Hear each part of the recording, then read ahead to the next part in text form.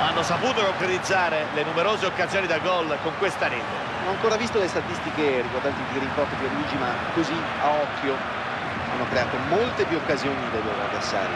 Mentre sulla carta ci si attendeva onestamente un certo equilibrio.